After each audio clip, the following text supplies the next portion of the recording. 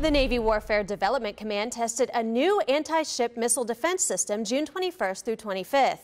Pandarra Fog consists of shipboard radar-absorbing carbon fiber clouds tested under a variety of at-sea conditions using assets from the U.S. Army, Navy, and Air Force.